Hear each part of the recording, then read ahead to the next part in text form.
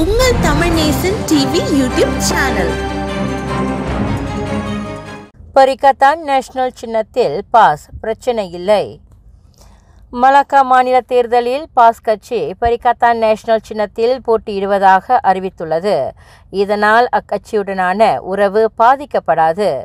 இரு கட்சிகளும் மலாய் மக்களின் நலன் கருதி மொஃபகாட் நேஷனல் கூட்டணியை வலுப்படுத்த இருப்பதாகவும் அம்னோ கூறியது. மலேசிய இஸ்லாமியர்களின் நலனில் இரு கட்சிகளுமே அக்கறை கொண்டுள்ளதாக மலாக்கா மாநில அம்னோ துணைத் தலைவர் முகமது அலி கூறினார். மலாக்கா சட்டமன்ற தேர்தலில் பாஸ் கட்சி பரிகாத்தான் கூட்டணியில் இடம்பெற்றுள்ளதை அக்கட்சியின் தலைவர் நேற்று உறுதிப்படுத்தினார். பாஸ் எந்த அடிப்படையில் இந்த முடிவினை எடுத்தது என்பது தெரியவில்லை. இருந்தாலும் பாஸின் இந்த முடிவு இரு தரப்புக்கும் இடையேயான உறவு துண்டிக்கப்படாது. இரு கட்சிகளும் மீண்டும் ஒருங்கிணைந்து இஸ்லாமியர்களின் குறிப்பாக மலாய் மக்களின் நலனுக்காக பாடுபடும் என்றும் முகமது அலி கூறினார். நஜீப்பின் விண்ணப்பத்திற்கு நீதிமன்றம் அனுமதி. முன்னாள் பிரதமர் Datuk Sri Najib Tun Razak Singapore செல்வதற்கான புதிய திகதிகளுக்கு மேல்முறையீட்டு நீதிமன்றம் அனுமதி அளித்துள்ளது. சிங்கப்பூரில் உள்ள தனது மகளை பார்க்க செல்ல வேண்டியிருப்பதால் தமது கடப்பிதழை தற்காலிகமாக விடுவிக்க வேண்டும் என நஜீப் நீதிமன்றத்தில் விண்ணப்பித்திருந்தார். அவரின் கோரிக்கைக்கு அரசு தரப்பு எவ்வித எதிர்ப்பையும் தெரிவிக்காததால் கடப்பிதழை தற்காலிகமாக விடுவிக்க நீதிமன்றம் அனுமதி அளித்திருந்தது. மேலும் நவம்பர் மூன்றாம் திகதி முதல் இருபதாம் திகதிக்குள் நஜீப் சிங்கப்பூர் சென்று திரும்ப அனுமதி வழங்கப்பட்டது. இந்நிலையில் மலாக்கா தேர்தல் காரணமாக தமது பயணத்தை நஜீப் ஒத்திவைத்தார். இதுகுறித்து நீதிமன்றத்துக்கும் தகவல் தெரிவிக்கப்பட்டது. மேலும் சிங்கப்பூர் செல்லும் திகதிகளை மாற்றியமைக்கவும் நஜீப் தரப்பு நீதிமன்றத்தில் கோரிக்கை விடுத்தது. அதை ஏற்றுக்கொண்ட மேல்முறையீட்டு நீதிமன்றம் புதிய பயண திட்டத்தின் கீழ் நவம்பர் இருபத்தி ஒன்றாம் திகதி முதல் டிசம்பர் ஐந்தாம் திகதிக்குள் நஜீப் சிங்கப்பூர் சென்று திரும்ப அனுமதி அளித்துள்ளது. இம்முறையும் நஜீப்பின் மனுவுக்கு அரசு தரப்பு வழக்கறிஞர் எதிர்ப்பு தெரிவிக்கவில்லை Salam sejahtera. Perayaan Deepavali adalah hari penting dan istimewa yang diraihkan dengan meriah oleh masyarakat agama Hindu. Semoga seluruh rakyat Malaysia tanpa mengira kaum dan agama bersama-sama menghormati dan menghargai kepelbagaian kepercayaan yang wujud dalam negara kita.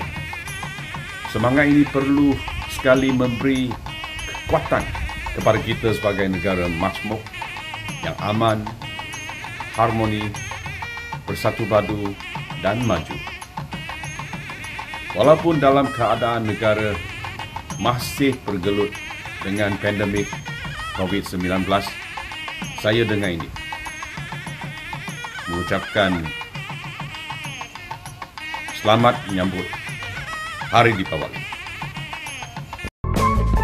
பிரதமர் தைரியமாக செயல்பட வேண்டும் பிரதமர் Dato Ismail Sabri யாக்கூப் குறிப்பிட்ட சிலரின் கைப்பிடியில் இல்லாமல் சுதந்திரமாகவும் தைரியமாகவும் செயல்பட வேண்டும் என அமானா கட்சி தலைவர் முகமது மட் சபு கேட்டுக்கொண்டார் அடுத்த பொது தேர்தல் வரை இஸ்மாயில் சப்ரி பிரதமராக நீடிக்க வேண்டும் என்ற அடிப்படையில்தான் பக்காத்தான் ஹராப்பான் அரசாங்கத்துடன் புரிந்துணர்வு ஒப்பந்தத்தை செய்து கொண்டது. பல முக்கிய விவகாரங்களில் முடிவெடுக்கும் தைரியம் இஸ்மாயில் சப்ரி இல்லை என்பது தெளிவாக தெரிகிறது. குறிப்பாக அரசியலில் ஊழல் நிகழ்வதாக முன்னாள் ஐஜிபி ஹமீத் படோர் முன்வைத்த குற்றச்சாட்டுக்கள் மீது எந்த விசாரணையும் மேற்கொள்ளப்படவில்லை. அரசாங்கம் சார்ந்த விவகாரங்களில் பிரதமர் தைரியமாக முடிவெடுக்க வேண்டும். மற்றவர்களின் பிடியில் சிக்கிக்கொள்ளக்கூடாது. மலக்க தேர்தல் நெருங்கிவிட்டது. ஆனால் இதுவரை எஸ்ஓபிக்கள் அறிவிக்கப்படவில்லை. சம்பந்தப்பட்ட அமைச்சர்கள் மட்டுமே அறிக்கை வெளியிடுகின்றனர். பிரதமர் அவரின் அதிகாரத்தை முழுமையாக பயன்படுத்த வேண்டும் என்பதை இஸ்மாயில் சப்ரி உணர வேண்டும். எதிர்க்கட்சி தலைவர் டத்தோ ஸ்ரீ அன்வார் இப்ராஹிம் பிரதமராக வந்தால் இதே போன்ற தவறுகளை செய்யக்கூடாது என இன்று நாடாளுமன்ற விவாதத்தின் போது பேசிய முகமது மட் சபு நகைச்சுவையாக கூறினார். தீபத் திருநாளில் இந்து அன்பர்களின் வாழ்வில் ஒளி வீசட்டும். தீபாவளி திருநாளை கொண்டாடும் அனைத்து இந்து அன்பர்களுக்கும் இனிய தீபாவளி வாழ்த்துக்களை தெரிவித்துக் கொள்வதாக பிரிஸ்மா எனப்படும் மலேசிய இந்திய முஸ்லிம் உணவக உரிமையாளர் சங்கத்தின் தலைவர் டத்தோ ஜவஹர் அலி கூறினார். தீப திருநாளில் இந்து அன்பர்களின் வாழ்வில் ஒளி வீசட்டும் பிரச்சனைகள் நீங்கி சுபிச்சமும் பெறட்டும் தடைகள் நீங்கி வெற்றி பெறட்டும் துன்பங்கள் நீங்கி மகிழ்ச்சி பொங்கட்டும் கோவிட் காலகட்டத்தில் மிதமான முறையில் கொண்டாடப்படும் தீபாவளி பண்டிகையை மலேசிய மக்கள் அனைவரும் ஒற்றுமையாக வரவேற்போம் என்றும் டத்தோ ஜவஹர் அலி கூறினார். இன ரீதியிலான பட்ஜெட் சேவியர் சாடல். இன ரீதியிலான பட்ஜெட்டை தாக்கல் செய்வதை அரசாங்கம் நிறுத்தி கொள்ள வேண்டும் என கோலலங்காட் சுயேட்சை நாடாளுமன்ற உறுப்பினர் சேவியர் ஜெயக்குமார் கேட்டுக்கொண்டார் இன ரீதியிலான அம்சங்கள் எதிர்காலத்தில் ஒற்றுமையை சீர்குலைத்து விடும் என்பதை அனைவரும் புரிந்து கொள்ள வேண்டும். ஆண்டுதோறும் இன அடிப்படையிலான வரவு செலவு திட்டம்தான் தாக்கல் செய்யப்படுகின்றன. இதனால் மக்கள் மத்தியில் வெறுப்புணர்வு அதிகரிக்கிறது. தற்போதைய அரசாங்கத்தின் மலேசிய குடும்பம் என்ற கோட்பாட்டின் அடிப்படையில் இந்த பட்ஜெட் அமையவில்லை. அதோடு ஒவ்வொரு முறையும் குறிப்பிட்ட இனத்தவர்களுக்கான ஒதுக்கீடு குறித்து பல கேள்விகள் எழுகின்றன. இதனால் வரவு செலவு திட்டம் இன அடிப்படையில் இல்லாததை அரசாங்கம் உறுதி செய்ய வேண்டும் என்றும் ஜேவியர் வலியுறுத்தினார். சிந்திக்கும் சமுதாயமாக மாறுவோம்.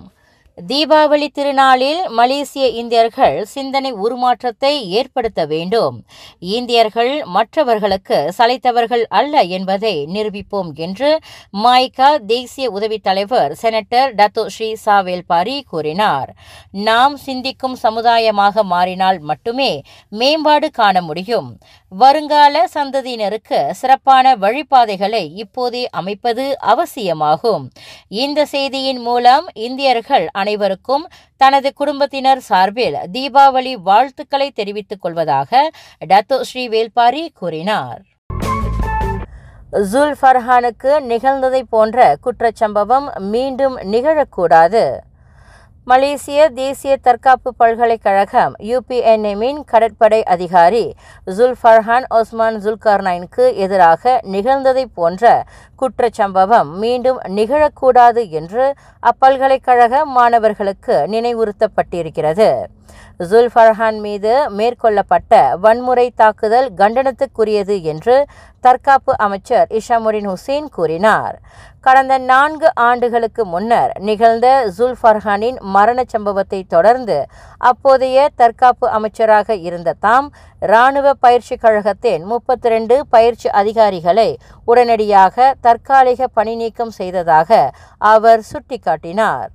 அதோடு அக்கழகத்தின் பயிற்சி செயல்முறை மற்றும் பயிற்சியாளர்களின் நிர்வாகம் குறித்து மதிப்பாய்வு செய்ய உத்தரவிடப்பட்டுள்ளது. ஜுல் ஃபர்ஹானை கொலை செய்யும் நோக்கம் இல்லாமல் காயம் விளைவித்ததற்காக ஆறு யூபிஎன்எம் மாணவர்களுக்கு நேற்று வழங்கப்பட்ட பதினெட்டு ஆண்டுகள் சிறை தண்டனையில் இருந்து அப்பல்கலைக்கழகமும் இராணுவமும் படிப்பினையை கற்றுக்கொள்ள வேண்டும் என்றும் இஷாமுடின் ஹுசேன் கூறினார்.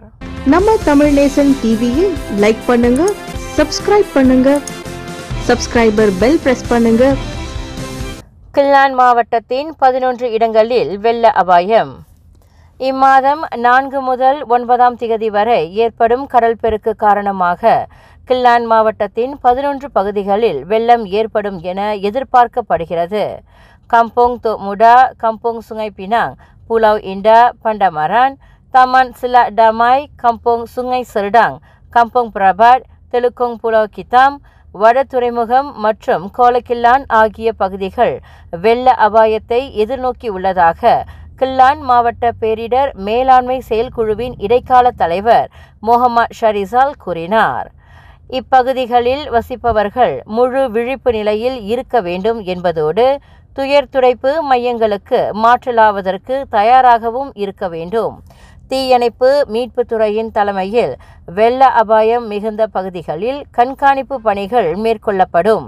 நாளை நான்காம் திகதி அதிகாலை ஐந்து இருபத்தி ஒன்று மணிக்கும் மறுநாள் அதிகாலை ஆறு இரண்டு மணிக்கும் ஆறாம் திகதி அதிகாலை ஆறு நாற்பது மணிக்கும் ஏழாம் திகதி காலை ஏழு பதினெட்டு மணிக்கும் கடல் பெருக்கு ஏற்படும் என கணிக்கப்பட்டுள்ளது.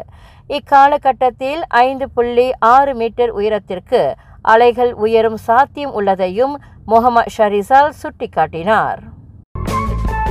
நாகேந்திரனுக்கு மரண தண்டனை நிறைவேற்றம் கண்ணீரில் குடும்பத்தார்.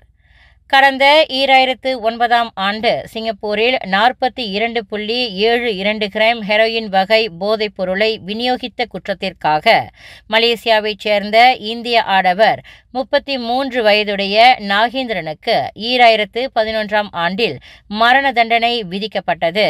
நவம்பர் பத்தாம் திகதி சங்கி சிறைச்சாலையில் நாகேந்திரன் மீதான தண்டனை நிறைவேற்றப்படும் என சிங்கப்பூர் அதிகாரத்துவ தரப்பு அவரின் குடும்பத்தாருக்கு கடந்த அக்டோபர் இருபத்தி ஆறாம் திகதி மின்னஞ்சல் வாயிலாக தெரிவித்துள்ளது.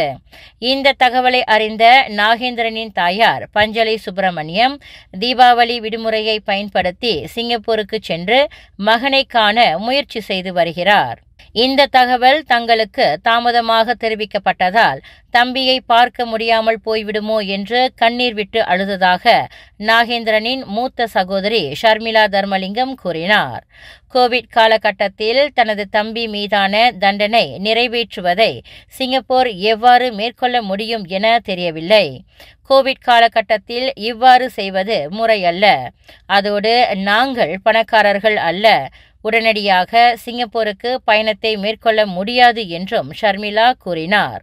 இதற்கிடையில் நாகேந்திரனின் விவகாரத்தை சிங்கப்பூரில் உள்ள மலேசிய உயர் ஆணையத்தின் வாயிலாக வெளியுறவு அமைச்சு கண்காணிக்கிறது என வெளியுறவு அமைச்சர் சைஃபுடின் அப்துல்லா தெரிவித்துள்ளார்.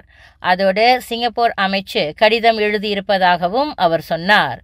முன்னதாக மரண தண்டனைகளுக்கு எதிர்ப்பு தெரிவிக்கும் அமைப்பான Anti Death Penalty Asia Network மூலம் பட்டாலிங் ஜயா நாடாளுமன்ற உறுப்பினர் மரியாச்சின் இந்த விவகாரத்தை அமைச்சு உடனடியாக கவனிக்க வேண்டும் என கேட்டுக்கொண்டுள்ளார். அரசாங்க அதிகாரிகளின் மீதான கையூட்டு குற்றச்சாட்டு தொடர்பில் விசாரணை. எடிசி சியர்சட்மா எனும் ட்விட்டர் பக்கத்தில் வெளியிடப்பட்ட அரசாங்க உயர்மட்ட பதவியில் உள்ள சில அதிகாரிகளின் மீதான கையூட்டு குற்றச்சாட்டு தொடர்பில் விசாரணை மேற்கொள்ளப்பட்டு வருகிறது.